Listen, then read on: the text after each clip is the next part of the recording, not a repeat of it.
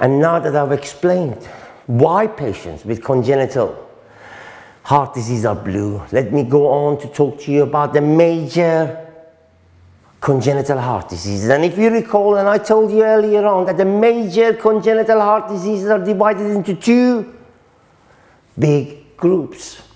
In one big group, our patient is cyanosed and blue. We have a blue baby. And in the other, our patient is not cyanosed and it's not blue. So let me first deal with the ones where there is no cyanosis, where our baby is not blue. So these babies must have an uncomplicated auricular septal defect or an uncomplicated ventricular septal defect, an uncomplicated ASD and an uncomplicated VSD. And that immediately reassures us. When we look at the list, the first one you see on that list, acyanotic congenital heart disease, is a ventricular septal defect, a VSD. A ventricular septal defect is quite a common. Acyanotic congenital heart disease. And why is it of importance? Well, it's important for two reasons.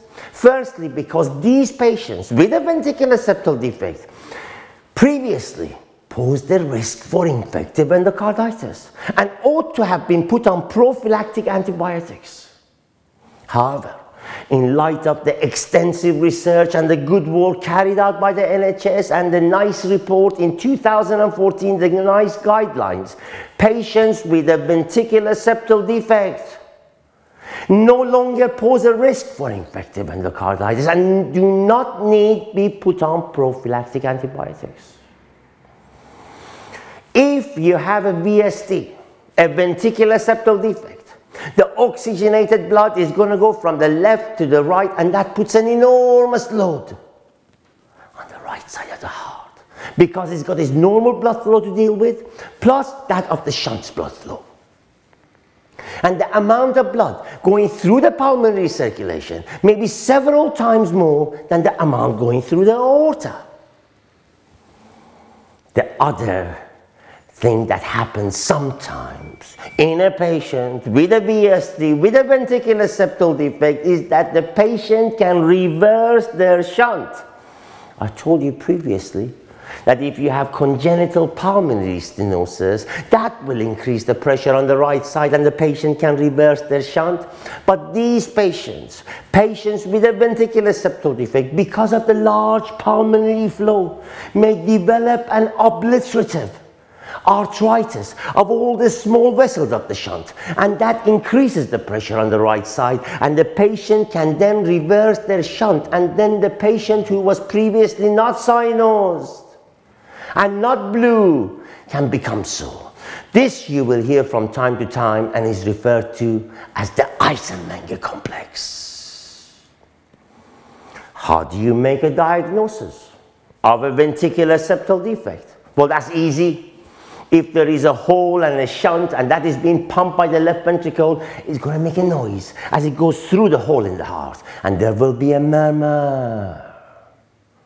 And if there isn't a murmur, you can pick up this defect by the Doppler ultrasound. Or if you like, you can put a catheter in the heart and show that the chambers on the right side of the heart, which should have desaturated hemoglobin, deoxygenated blood, have a higher oxygen content because of the flow from the left side.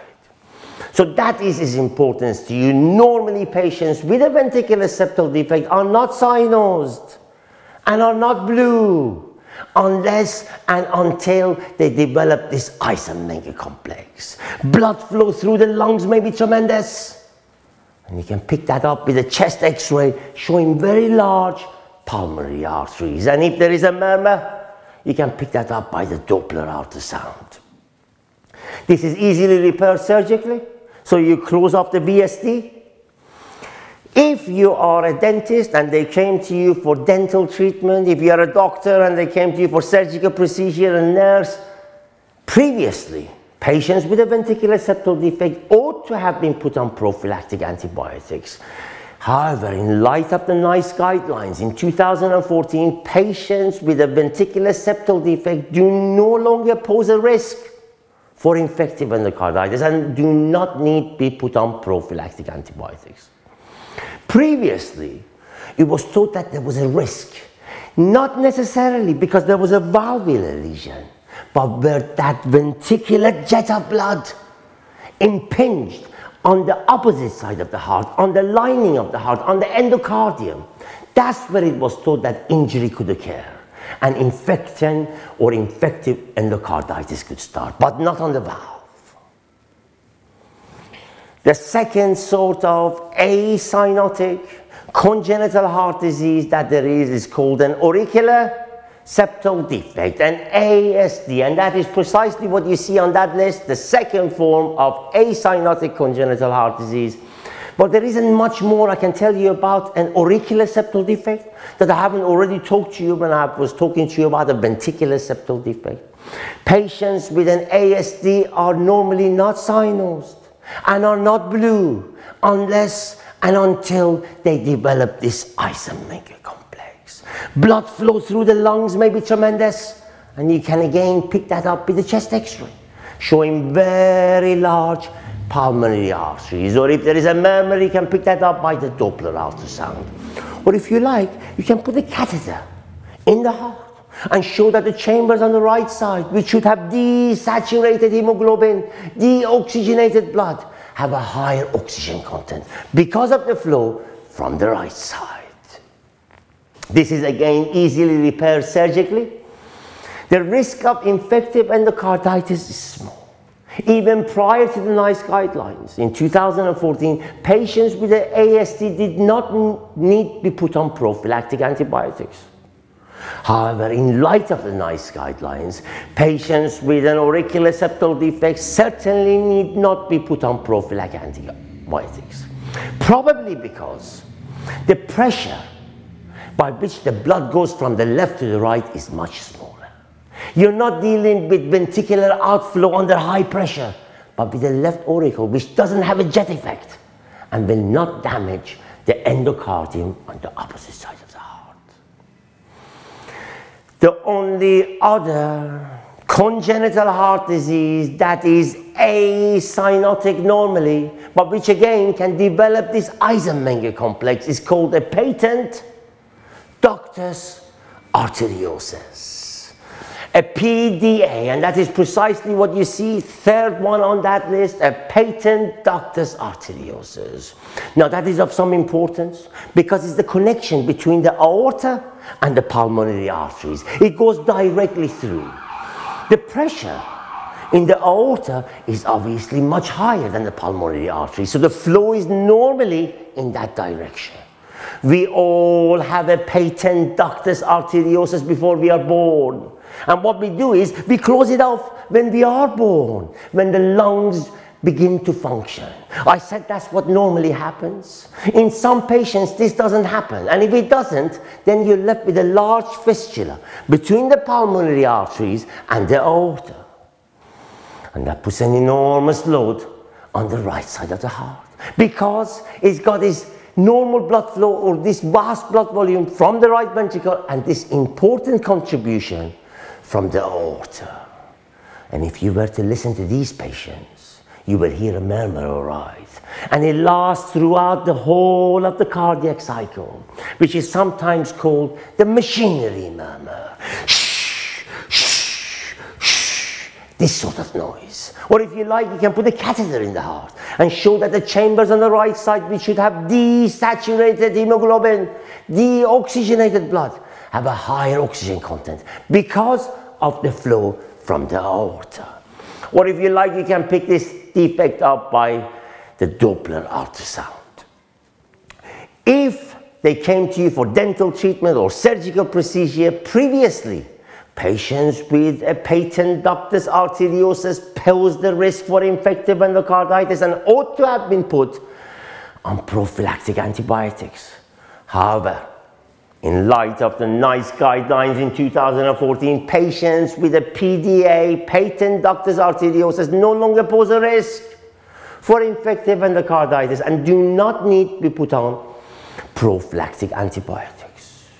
This is repaired surgically or it can be treated surgically by closing up the ductus itself and this usually happens in the aorta just below the left subclavian artery. So there are three quite important acyanotic congenital heart diseases, a ventricular septal defect, an auricular septal defect, and a patent ductus arteriosus. Previously, these patients posed the risk for infective endocarditis and ought to have been put on prophylactic antibiotics, but patients in light of these NICE guidelines no longer pose a risk and do not need to be put on prophylactic antibiotics in 2015. You are not blue. These patients are not cyanos. These babies are not blue. You are not blue if you have a hole in the heart, unless and until something stops the pulmonary flow. And that could be congenital pulmonary stenosis, or it could be the Eisenmenger complex by which you form and occlude all the small vessels of the shunt and therefore increase the pressure on the right side and reverse the shunt you obviously make sure that if you have an Eisenmenger complex, you want to treat that. Well, you can't do that by closing up the shunt. You need a new heart and lungs. If you have an Eisenmenger complex, it would be an indication for heart lungs transplant. Right. If there are some acyanotic congenital heart diseases, then there obviously must be some cyanotic ones as well, and I'm afraid there are. And these are the ones you read in the newspapers. They're called blue babies. They're born blue. These patients, if they have an auricular septal defect or a ventricular septal defect, an ASD or a VSD, must have something else in order to make them blue. And the one that you probably all heard of and know of is called the tetralogy of Fallot. Tetralogy means four things, and here they are. The first part of that tetralogy is that the patient has a VSD, a ventricular septal defect. That wouldn't make you blue because oxygenated blood is simply going to go from the left to the right, and therefore oxygenated blood is still coming out of the aorta. The second part of that tetralogy is that patients have pulmonary stenosis. That will make you blue because it will increase the pressure on the right side of the heart and the shunt now reverses. And instead of oxygenated blood going from the left to the right, now deoxygenated blood, desaturated hemoglobin is going to go from the right to the left and end up in the peripheral circulation. And it is the fact that you have desaturated hemoglobin in your peripheral circulation is what makes you blue. And it is reckoned that you need five grams of that before you appear blue clinically. We normally have 15 grams per 100 ml. If a third of that is desaturated, you will look blue clinically.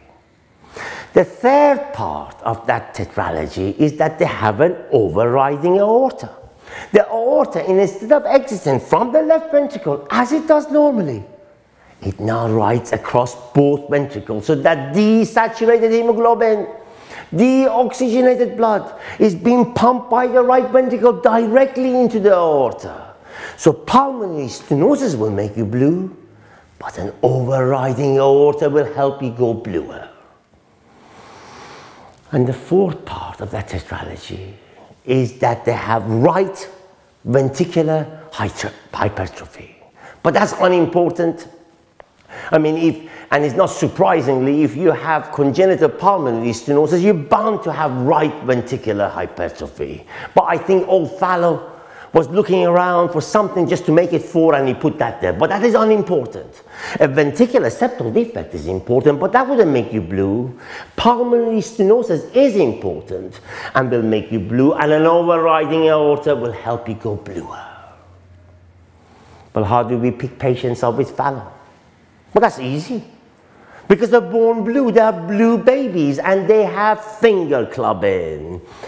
You recall me telling you previously there are two cardiac lesions which produce finger clubbing. We've had them both now. One of them is infective endocarditis, and the other is any form of cyanotic, congenital or cyanotic heart disease. A condition in which there is expansion of the distal compartment of the fingers. So if you held them sideways, you lose the angle between the nail, which is this thing, and the nail bed, which is behind it, thing behind it. There is normally an obtuse angle. That gets flattened out, and there is soft tissue expansion of the finger so that it looks like the end of a drumstick, and that is called finger clubbing. There is a big right ventricle because it says so up there, and because I told you earlier on, if you have congenital pulmonary stenosis, you're bound to have right ventricular hypertrophy. Or you can pick this defect up by the Doppler ultrasound, or you can show that there is desaturation. If you put a catheter in the right, in the left ventricle, you can show that there is desaturation. The risk of infective endocarditis with is small. So patients with Fallot's do not need be put on prophylactic antibiotics. This can be treated surgically. If the baby is very young, what they do is the anastomose, an artery, the subclavian artery, to the pulmonary artery, beyond the stenosis so that the lungs are oxygenated. This is called the Blalock Taussig procedure. It's not a perfect thing to do, but it's sort of an emergency operation where babies go through in order to stay alive. But in a baby or in a child over the age of one, this is eminently treatable these days. So you close off the VSD, you put a new pulmonary valve or you split the one that there is and you shift the position of the aorta so that it doesn't exit from both ventricles and exits from the left. The right ventricular hypertrophy will disappear of its own accord and happy days. Mom and dad can breathe again and our patient, our baby who was previously knocking on heaven's door, can start looking healthy and normal again. And this is called a total correction. Some other interesting things happen when you see patients or babies or kids with Fallot's. You see them squat. You see them squat on the floor because they are less short of breath by doing that. This is because you can stop and occlude the blood going into the right auricle and take the strain of the heart in that sort of way. You see them squat in order to relieve their dyspnea. The second form of cyanotic, let's work in threes. There are three acyanotic congenital heart diseases, an ASD, a VSD, and a patent ductus arteriosus, and there are three cyanotic ones. I'm only going to mention you the other two, just their names, and just tell you a very brief thing about them because the most important cyanotic congenital heart disease that you'll ever come across is called the tetralogy of Fallot, which I've covered for you already. But let me remind you that there is a condition called tricuspid atresia, where the right ventricle simply fails to develop. And there is an ASD, and therefore deoxygenated blood is simply going to go from the right to the left, and there is a single ventricle.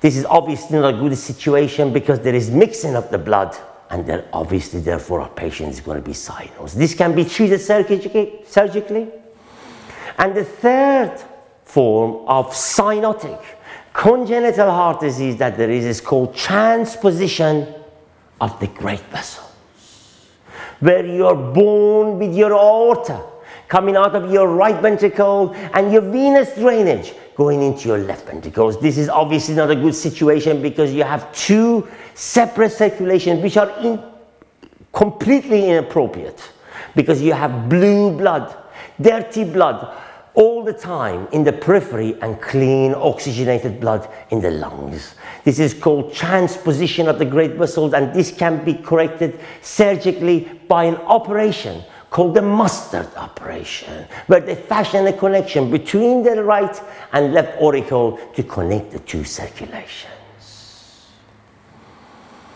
I hope this has been useful. That's all I have to say about congenital heart disease. And if you like it, please leave me a comment.